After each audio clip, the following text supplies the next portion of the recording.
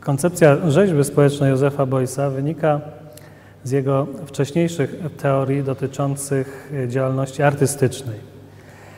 Otóż w swoim poszerzonym pojęciu sztuki Boyce mówi, że każdy jest artystą.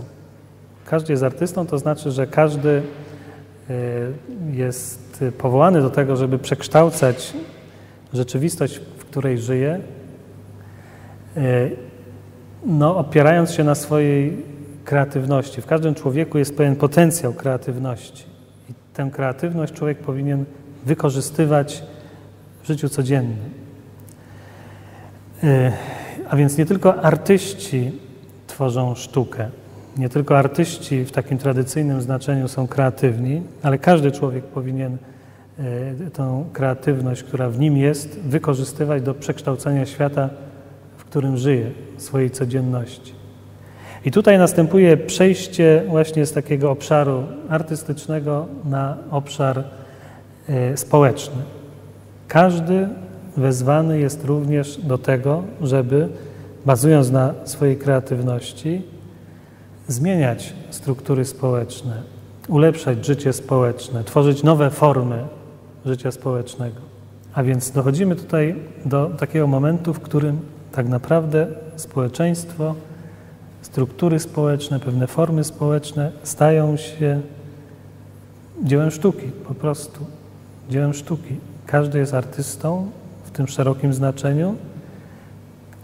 Każdy jest powołany do tego, żeby zmieniać rzeczywistość, również tę rzeczywistość społeczno-polityczną. I to jest właśnie teoria rzeźby społecznej.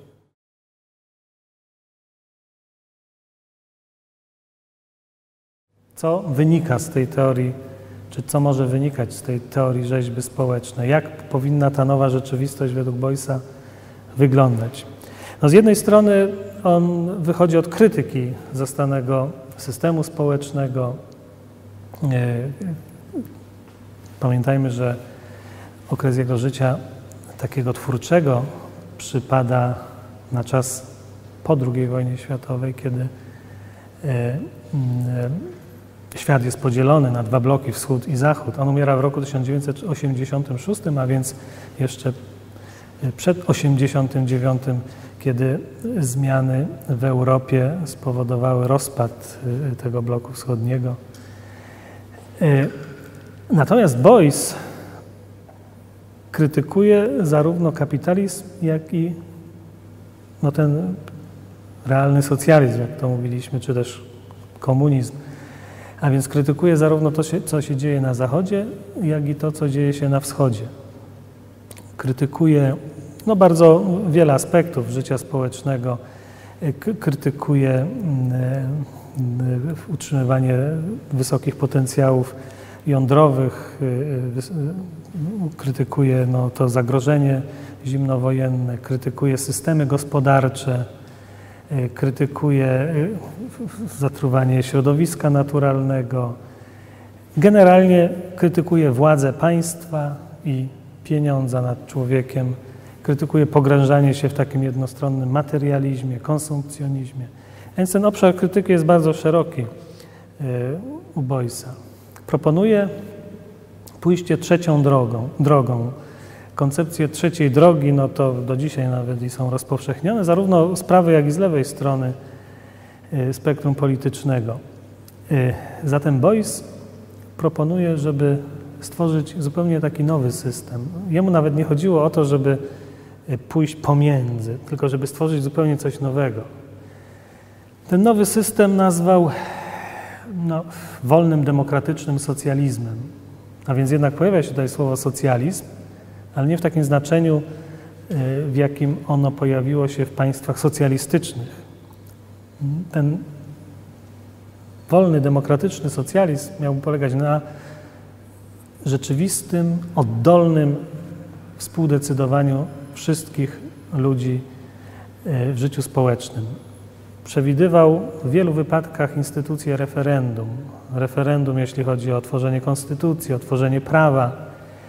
Bardzo ważna była samorządność dla niego na tych najniższych szczeblach i poprzez te najwyższe szczeble e, e, również no, samej władzy. Tam wszędzie powinna powinien panować duch samorządności, duch oddolnego y, rządzenia.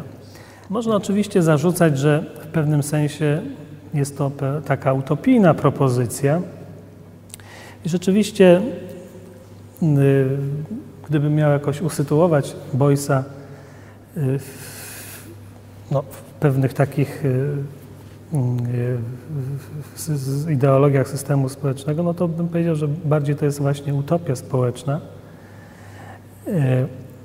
Natomiast utopia dosyć taka charakterystyczna, ponieważ zawierająca pierwiastki z jednej strony takich tradycyjnych archistycznych utopii, a więc gdzie to silne państwo się w końcu pojawia, ale z drugiej strony takich utopii anarchistycznych, bo u Boysa jest wyraźny ten taki wydźwięk też anarchistyczny. A więc z jednej strony osłabianie państwa, ale z drugiej strony jednak oddolnie tworzy się pewne rady, które w końcu tworzą zarysy jakiegoś państwa. A więc to nie jest u niego takie jednoznaczne. Nie jest to jakiś zupełny anarchizm, ponieważ pojawiają się pewne struktury jednak państwowe.